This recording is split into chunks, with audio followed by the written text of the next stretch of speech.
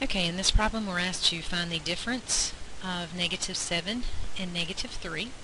And the word difference, of course, means subtract. So as we write this down, we're going to have our negative 7, but we're going to put a subtraction for the, the difference, and then the number we are subtracting would be negative 3. And I only put the parentheses in there just as a separator between the two negative or minus signs.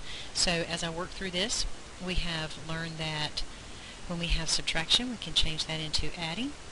And that's one thing that we learn in DMA 010 is to change the subtraction into addition and then also change the following number into the opposite. So the negative 3 would become positive 3. So we are actually adding negative 7 plus 3. They are different signs, so the rule is when they are different signs you subtract the smaller from the larger. So 7 uh, subtract 3 is 4. And then the answer carries the sign from the number that has the larger absolute value. Negative 7's absolute value would be 7, and of course 3's would be 3. So 7 is bigger than 3, so we carry the sign from the, the 7. So our answer would be negative 4.